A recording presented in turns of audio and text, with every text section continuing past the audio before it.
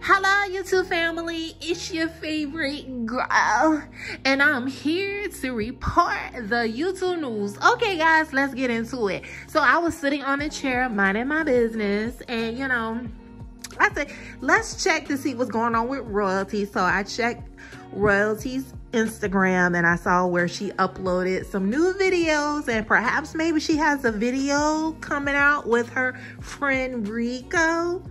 So if you have not went over to Royalty's channel, check her out. Go ahead and subscribe.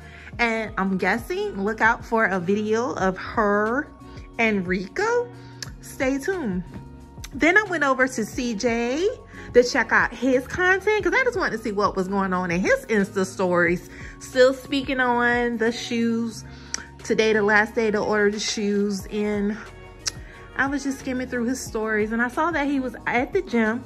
I saw Bride of Chucky was at the gym too, but what stood out to me is her lifting those heavy weights on her legs, being that she's a pregnant woman. So guys, let's go to the comments.